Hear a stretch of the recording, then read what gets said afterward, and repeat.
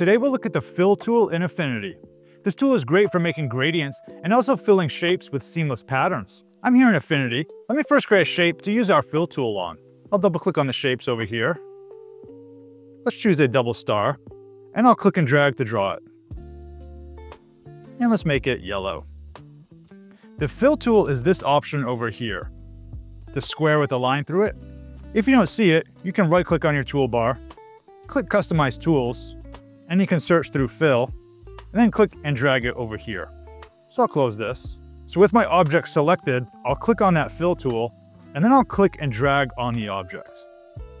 And you can see it created a gradient. Now by default, the gradient is going to use the current fill color with a slightly darker version also. But of course, we can customize this as we like. Once you have your gradient control here, click on the dots at either end, and then over here on the color panel, you can go and change what it looks like. So let's make this one red. I'll go back, I'll click on this other dot.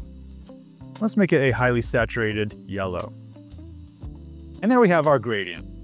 Now if I click off my shape, it'll be unselected. If I want to go and edit that gradient again later, I'll make sure I select my shape, then go and select the fill tool again, and the control will come back. Now there are many ways to continue modifying this gradient. When you hover over one of the dots here, I recommend looking at the bottom of the screen on your operating system. It will give you the specific shortcuts for different operations. For example, I can click and drag to reorient the size of the gradient. On Mac, I can use the Command key to move the gradient entirely itself. So if you're on Windows, look down here to see what those options are. You may notice this line in the middle here. This controls the fall off of the gradient, so I can drag it more towards the red or bring it more towards the yellow to have it distributed that way. I'll put it back in the middle. Something you probably want to do is add more colors to your gradient. And we can do that by clicking on the line here. So I'll click on this middle point here. And by default, it's going to fill in the color that's already there. So that was kind of like an orangish. But I'll click on it, and then over here I can change it. I can click again down here to add another point, and I can change that too as I like. And if you want to delete a point, just click on it and press delete. And you can even move it later on. So I'll click on this middle point here. Let's get it more towards the middle. And I'll also mention that you can make a gradient point transparent. So with this point selected, instead of choosing the color here, I'll change the opacity. Let's dial this down. So now I have a transparent part of my gradient, so that's possible. Let me move it back up. Gradients also work exactly the same way with text. So I'll select my artistic text tool here, that's the T, and I'll click and drag, and let's type a word. Text. Let's make it something thicker. I'll say Arial Black. And now with my text selected, once again, I'll click the Fill tool, and I'll click and drag on the text. And we probably want something more interesting than these colors. Let me click the dot over here. Let's make it some type of blue. I'll click this other one. Maybe I'll make it like a purple. And there we have our text gradient. And the controls work exactly the same as with a shape. I can move around the point here. I can shorten it, lengthen it. It's all the same. And I can also make a custom curve. So I'll use the pen tool for that. Let's select the pen tool. Let's click and make some random shape here. I'll fill it with some color. And with it selected, once again, I'll select the fill tool. I'll click and drag, and I can modify the gradient. And it works just like that. Now, by the way, one thing you can do is select multiple shapes and apply a gradient to all of them at once. So I'll select everything here in my document. I'll go and I'll click the gradient tool. Then I'll click and drag across all of them. And you can see it affects all the shapes. And once again, the gradient tool still works exactly the same way. I've been using the gradient tool on the fill of an object, but we can also use it on the stroke. So I have this rectangle here. Let me add a stroke to it. I'll select it. Over here on the stroke panel, I'll select this here. Let me add a solid stroke. I'll make it really thick just so you can see it. And let's give it some color. Let's say orange to start. Now I'll select my fill tool.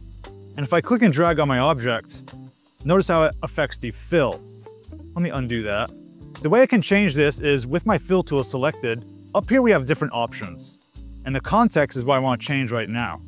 By default, it's fill, but I'll click down and I'll select stroke. Now when I click and drag, it affects the stroke. And again, it works exactly the same. I'll select this point. Let's change the color. And there we have a gradient on the stroke.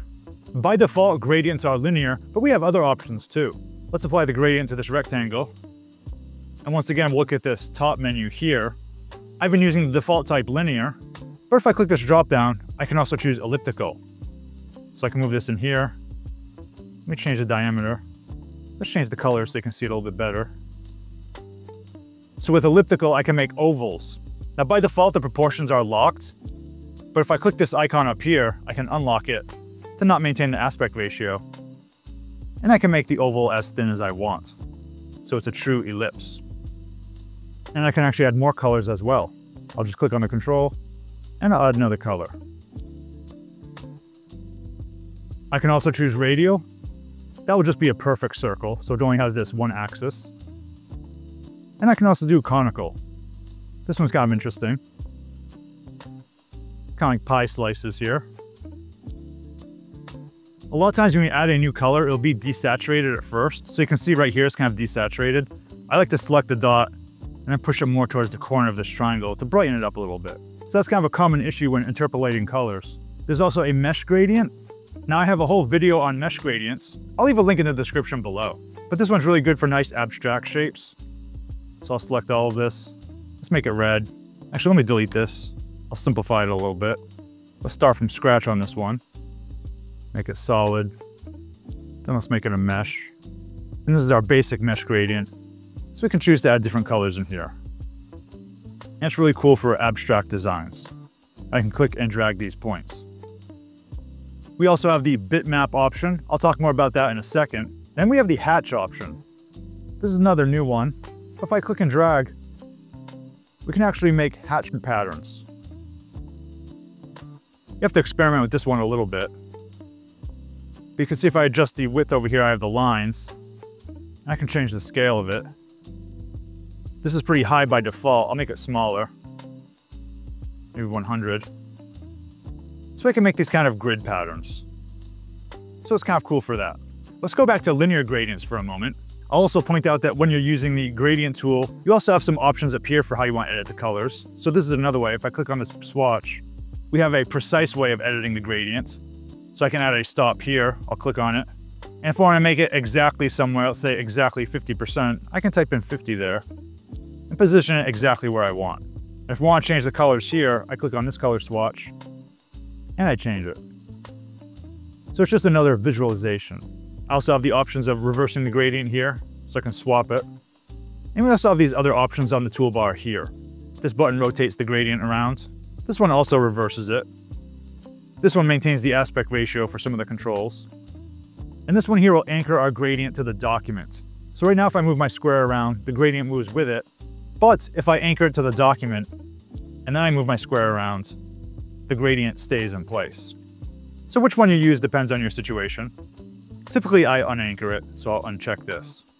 Now we can also use the fill tool to fill our shape with an image. So I'll select my shape here, I'll choose the fill tool, and under type, this was the bitmap option. So let me select that. I'll choose this file on my computer. I'll click open, and it fills it in. I'll click and drag, and you can see I can adjust the orientation of it and the size. And up here, there's additional options, wrapping, mirroring, repeating. I'll just say wrap for now. So that's how we can fill our shape with an image. Now where this feature really shines is with seamless patterns. I'm on the website Creative Fabrica here, and I found this cool seamless pattern of a cat. I'll put a link in the description below if you want to check it out. But I like this website because I can download tons of assets from it quite cheaply with a one-time subscription plan. So I've downloaded it to my computer. Let's load this graphic into Affinity. So I'll select my rectangle in Affinity. I'll select the fill tool again. And once again, I'll choose bitmap again. Now I'll choose the cat image. I'll press open. Now if I click and drag, I can fill it with this seamless pattern. Let's zoom in a little bit here. And you can see that it's actually repeating. Now one thing that's really important when using a seamless pattern is to carefully examine it to make sure it's actually working. Sometimes when you download these patterns, they have actually problems in them and they don't line up perfectly on the edges. Let me place the original image in my document so we can compare. Here's our original cat image. I can see that this pink planet is the top of the pattern there. So I'm gonna follow along that edge there. So let's look at our image. Here's the pink planet. I'm looking across the top of it I'm just kind of scanning sideways, looking for any problems. And it seems like it fits pretty well there. What else is happening in this image? Let's look at the sides of the image. We have the blue planet and it says, I need more space over here. Let's find that. Here's the blue planet. I need more space. So I'm looking up and down in this area and it seems to be pretty good. So you always want to verify these images when you download them. If there are any Affinity tutorials you'd like to see, let me know down in the comments below. Thanks for watching, and see you in the next video.